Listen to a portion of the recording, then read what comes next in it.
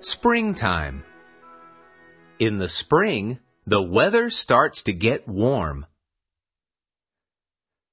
In the spring, we change the clocks so daylight stays longer.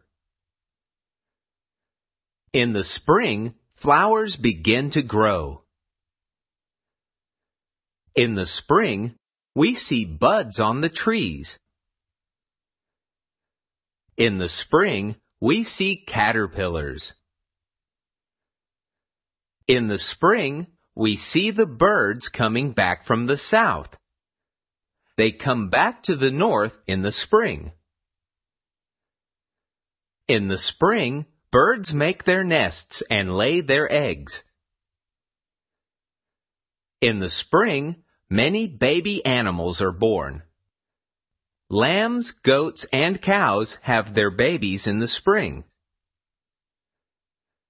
In the spring, we can go outside and play in the park.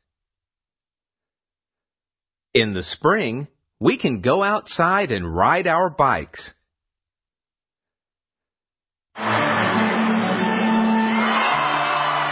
In the spring, baseball season starts.